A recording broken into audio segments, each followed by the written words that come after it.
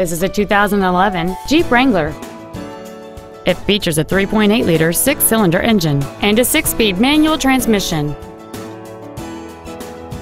Features include a low tire pressure indicator, traction control and stability control systems, cruise control, a six-speaker audio system, automatic locking wheel hubs, 12-volt power outlets, front fog lights, an anti-lock braking system, a CD player, and this vehicle has fewer than 7,000 miles on the odometer.